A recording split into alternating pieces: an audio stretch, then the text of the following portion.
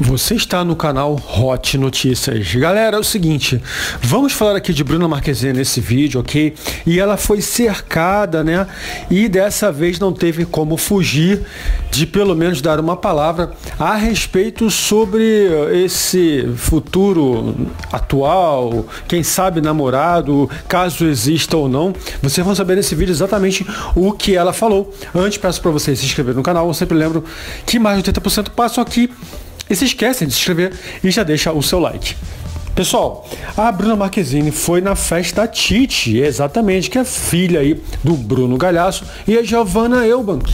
A mesma ocorreu nesta última noite de quarta-feira. Bruna apareceu com um vestido bem simples e descontraída, mas ela acabou aí ficando irritada, né? Com o questionamento do pessoal né, que estava querendo saber sobre ela e a sua situação aí é, em relação ao seu status, enfim, status amoroso. E de acordo com informações da colunista Fábia de Oliveira, que pertence ao jornal Dia, como eu já havia dito, ela estava sem paciência e quando foi questionada a respeito do seu status, né, ela foi bem objetiva, direta e reta e disse o seguinte: Estou solteira. É isso mesmo. Bruna respondeu da seguinte forma, né, bem direta, e lembra vocês também que ela levou uma boneca de presente para Titi.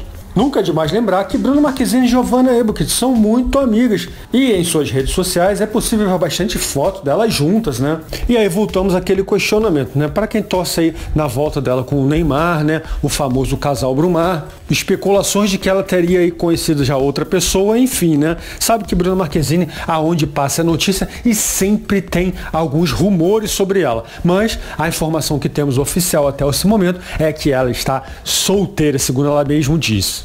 E vocês torcem por isso, pela volta dela com o Neymar? Comenta aqui aquele famoso casal Brumar.